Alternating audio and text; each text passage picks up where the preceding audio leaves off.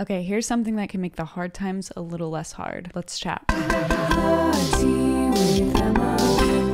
Welcome back to the shortest talk show ever, where I say some really wise things with really immaculate vibes, all very quickly for your short attention span. I have been out of the office as life has been humbling me and handing me my ass again. It kind of seems to be the game we're playing here. I keep thinking it's about like success and power, but instead it feels like this moving target game where every time I think I have it figured out, life switches it up like, ha, bitch that's actually just another story you made up in a completely meaningless realm of mystery. And every single time I'm like, no, stop, not again. So, my two takeaways from this recent Dark Night of the Soul it's completely okay to reinvent yourself over and over. And two, some of the most beautiful love filled moments of life happen right smack in the middle of the darkest times, especially if you allow yourself to stay connected to other people and be loved and supported through it. Peace and blessings.